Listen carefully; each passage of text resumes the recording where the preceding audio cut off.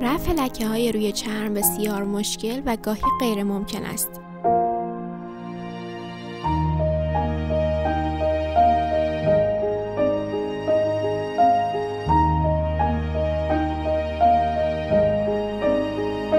ولی دیدن بعضی از لکه ها می تواند لذت بخش باشد.